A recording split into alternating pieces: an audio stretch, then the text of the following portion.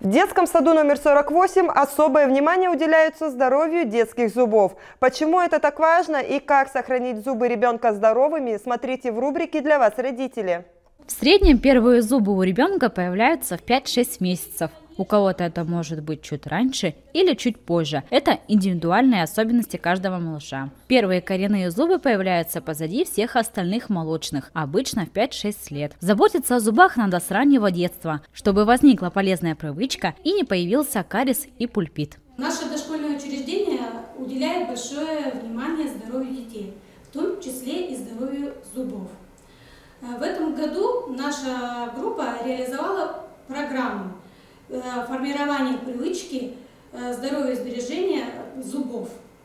Эта программа разработана э, здравоохранением Хабаровского края, Министерством здравоохранения Хабаровского края. Данная программа разработана, имеет 13 занятий практических, которые реализуются с сентября по май месяц. Цель данной программы – научить ребят, как правильно чистить зубы и навыкам чистки зубов. Эта программа была нами маленько расширена, так как мы знаем, ни для кого не секрет, что дети дошкольного возраста развиваются в игре. И наша программа была добавлена э, презентациями, видео различными, беседами, играми, дидактическими пособиями, которые мы изготавливали с детьми. И одна из игр, которую мы хотели вам рассказать, о которой мы хотели вам рассказать, называется «Полезно-вредно». Ребята, давайте пройдем и покажем, как мы играем в эту игру. Идет мальчик, это хорошо или плохо? Плохо. Почему? Потому Тоже что зубы Зубы могут сломаться, конечно. Слишком твердое нельзя грызть, тоже карандаши нельзя грызть. Еще одной из форм работы с детьми, это у нас было экспериментирование. Дети Э, экспериментируя, узнавали, из каких компонентов состоит зубная паста и для чего она нужна. Э, также мы использовали э, дидактические игры и пособия, изготовленные своими руками.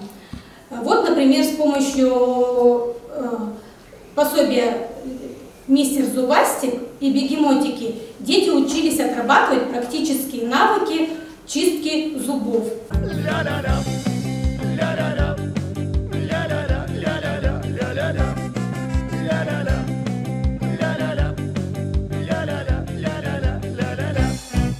Ребенок лучше усваивает материал через игру, интересуясь и получая сильные впечатления. Игровая форма обучения способствует выработке полезных гигиенических привычек и навыков. А, реализуя программу «Здоровые зубы», э, у нас ведется огромная работа с родителями. Это работа инновационная, то есть мы с родителями ведем такую работу. Называется «Почисти дома зубы а отправь нам фотоотчет.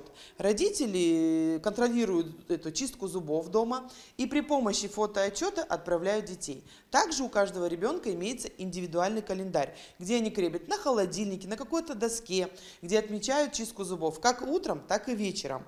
Это было придумано все, конечно же, нами. Родители пошли нам на уступку. А, также у нас имеется и календарь в своей группе, называется тоже «Здоровые зубы», где дети каждое утро, приходя из дома, вешают зубик, веселый или грустный. Если они почистили зуб, они вешают веселый. Если не почистили, то грустный. Поначалу было очень много грустных зубиков, потому что дети признавались честно, что не чистили зубы. Но когда эта программа уже, как говорится, была реализована, была проведена большая работа, были проведены беседы, игры, естественно, на данный момент у нас все зубки только веселые.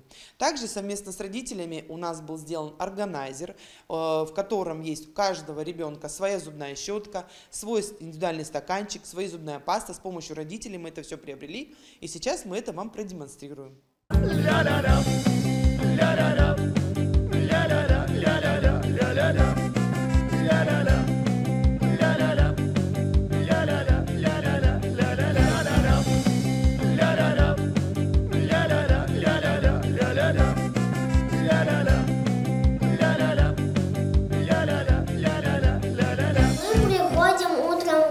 Сад и отмечаем на календаре зубов плохие или, до, или веселые зубки. Если ты чистил зубы, то ты ставишь веселый зубок. А если ты не чистил, то ты ставишь плохой зуб.